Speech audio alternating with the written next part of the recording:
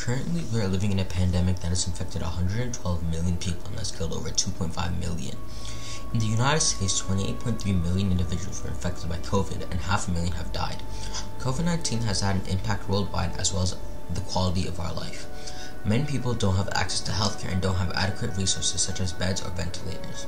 Worldwide, there is no unified system of dealing with the pandemic. Instead of bringing the population to the sensors, we can bring sensors to the people. We can strengthen global health by using nanotechnology lab on chip devices so people can use global connectivity to connect and give data to computing devices. Point of care can then be given the data to have fast response time due to healthcare systems having data on everyone's specific case. Using sensors, people can also get tested in their own homes instead of going to hospitals and taking time from other critical issues. The sensors can also give the government data to mitigate the spread of known and unknown infections to provide information from remote areas to bring about specific measures.